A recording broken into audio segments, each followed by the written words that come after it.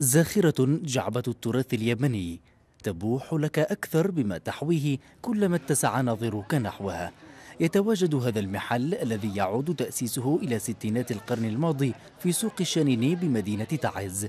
ويديره الشاب جميل خلفا لوالده لكن جميل يقول إن عوامل الحرب أثرت سلبا على تجارته. سبب الحصار والتحويلات التحويل على المليون يستلموا 400 ألف. والطرق مغلقة ما فيش يدخلوا كانوا يدخلوا من عدة مناطق. الحين يدخلوا اللي هم بالضباب اللي هم بالتربة بس. والسياح ما فيش خلاص.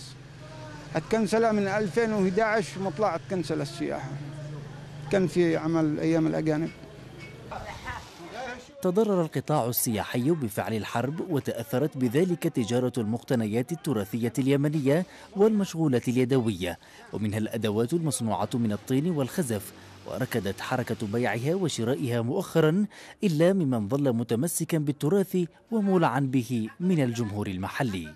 أنا الحديد ما ما ما مطمئن له. هذا تراث حديد ما نشتيش حديد نشتي تراث الحديد هذا تراب. شوفوا كيف تراب. يطلع لك اللحيح تمام.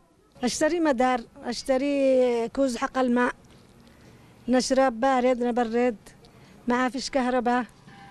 وهذا للسلتة للفتة لل... يعني تراث أجدادنا يعني أحسن حاجة. للحرف والمصنوعات الشعبية دلالات تعكس الطابع الحياة الاجتماعية والثقافية للمجتمعات. واليمن تفردت بتراث اشتهرت فيه على مستوى العالم ونقلت إليه حنكة اليمني وأصالته. وإن تراجعت اليوم مكانتها التجارية بفعل الحرب فهي ظروف مؤقتة تزول بانتهاء أسبابها. أيمن قائد يمن شباب تعز.